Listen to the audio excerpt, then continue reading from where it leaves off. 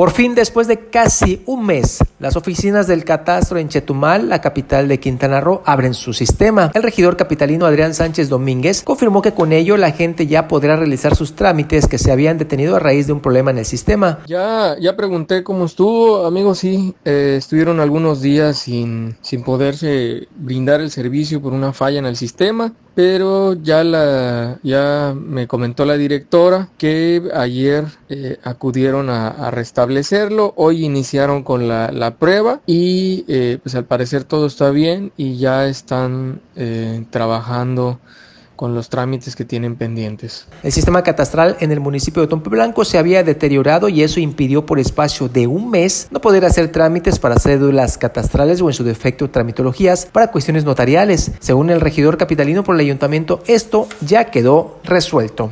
Para Notivisión, Juan Pablo Hernández.